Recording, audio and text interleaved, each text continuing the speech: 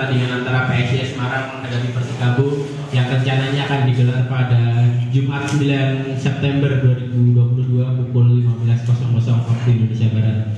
Di samping saya sudah ada caretaker PSIS Semarang, Coach Ahmad Faisal dan pemainnya Aksa Saniskara.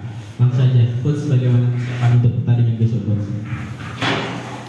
Alhamdulillah anak-anak dalam kondisi baik semua Mas. Dan persiapan Gama banget ya. itu aja sih Untuk Aksa sendiri persiapannya sebagai pemain seperti apa? Oke, Assalamualaikum warahmatullahi wabarakatuh. Dari pemain persiapan mungkin sudah cukup dan semua pemain siap untuk pertandingan besok dan kita siap meraih tiga poin di sini. Terima kasih. Langsung saja penanya, tiga penanya dulu. Walaupun ada beberapa pemain kita yang absen itu bukan suatu alasan bagi kita kita harus manfaatkan semua pemain yang ada untuk merubah posisi kita lihat besok besok aja pas pertandingan Oke, pertanyaan selanjutnya. Mas, Iya. jadi kan PSIS ini kan habis memecahkan rekor. Ya Persikabo kita semua tahu semua ya Persikabo dalam kondisi bagus, timnya juga bagus. Ya semua pemain Persikabo waspadai semua. Saya selalu bilang ke anak-anak kalau sudah masuk lapangan semua sama aja. Oke, selanjutnya. Ada lagi teman-teman? Cukup.